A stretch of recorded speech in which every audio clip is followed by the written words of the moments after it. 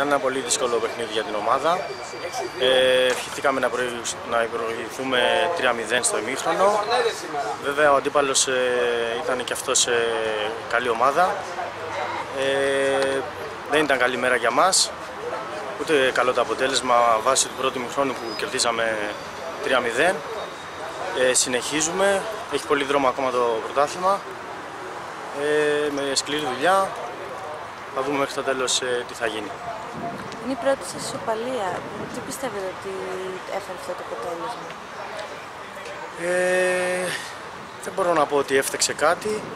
Απλώς ε, δεν ήμασταν ε, πολύ συγκεντρωμένοι σήμερα στο παιχνίδι και δεν καταφέραμε να κερδίσουμε.